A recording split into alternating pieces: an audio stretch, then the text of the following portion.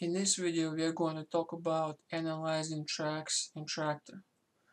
So what analyzing does to track is it allows Traktor to extract a few very important pieces of information about the track. To analyze a track in Traktor all you have to do is right click on the track and click analyze.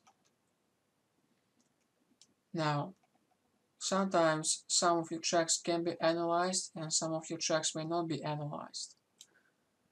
To know whether your track is analyzed, you can right click in the browser and pick the analyze section.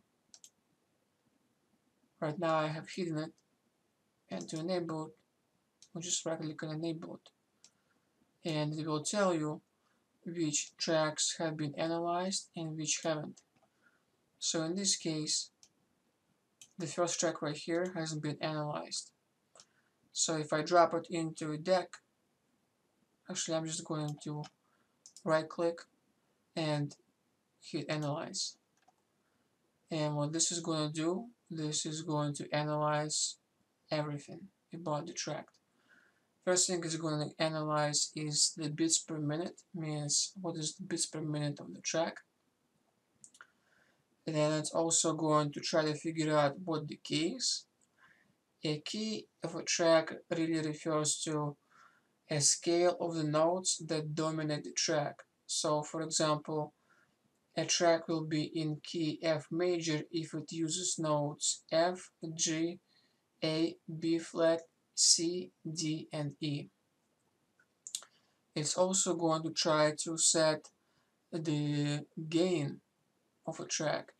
A gain is basically um, something that makes all the tracks in your collection to be on the same level of loudness. Because sometimes when you play your tracks, you don't want one track to be very loud and another tracks to be very quiet or to be somewhere or to be jumping somewhere in this range.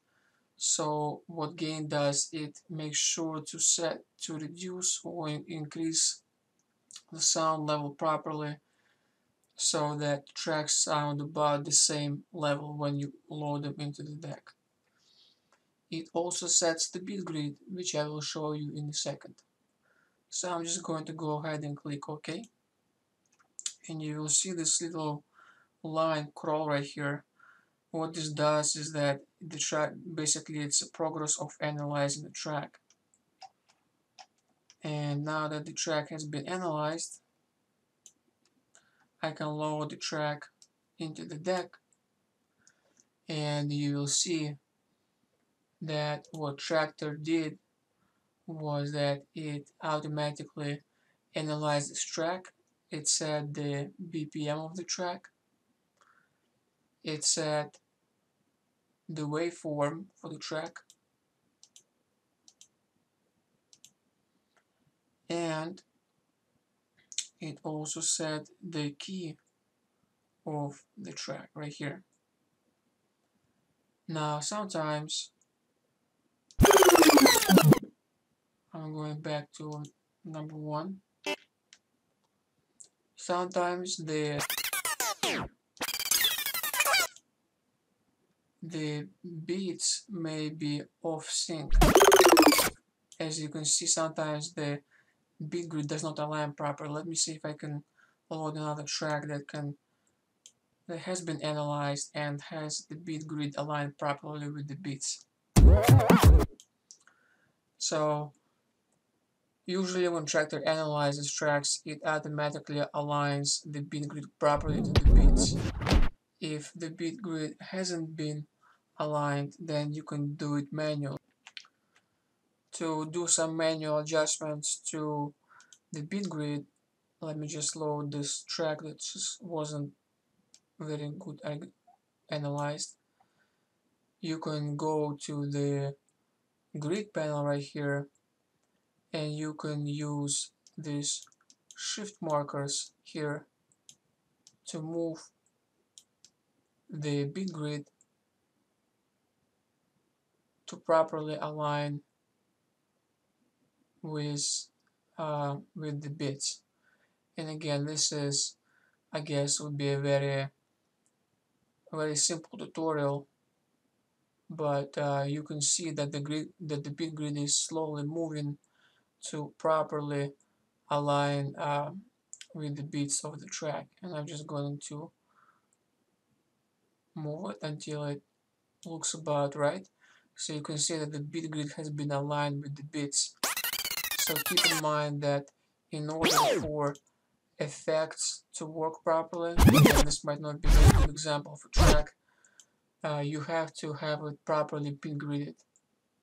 And bit grids will bit gridding in detail will, be covered probably in a later course. There are a few settings available for the analyzing of tracks in the preferences. So if you go to the preferences menu on Traktor and choose analyze options, you will see uh, what options are available. So the first option is set bit grid when detecting BPM. So this is the bit grid are those white lines right here.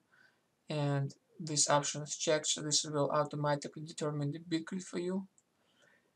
And this right here store bit bit marker as a hot cue. So what this is, I'm gonna close out of this. So if you go back to the beginning of the track, this beat marker right here, the the begin the beginning of the beat has been stored as number one. So this is your your number one hotkey. So if you press number one on the keyboard, it will start playing from that marker.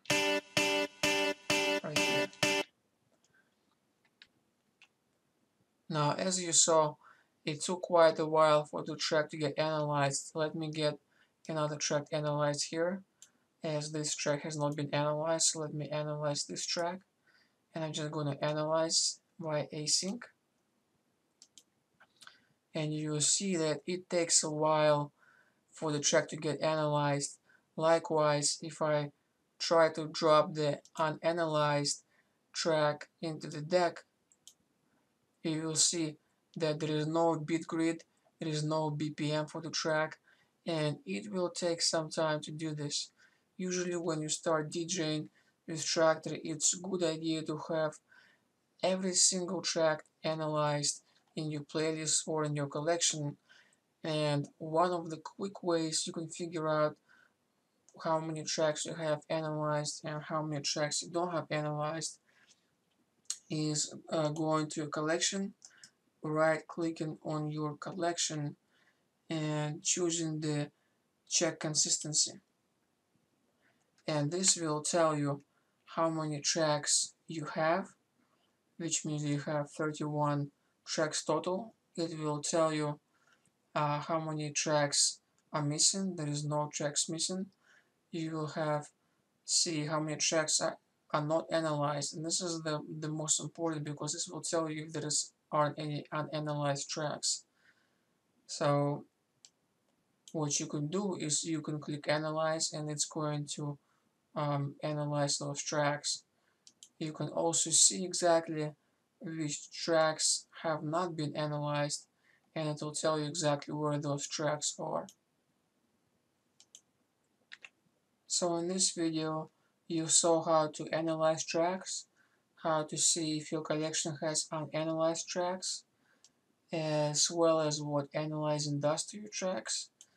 And you've seen how to enable this analyzed column inside your browser so you can see which tracks have not been analyzed. So this is it for that video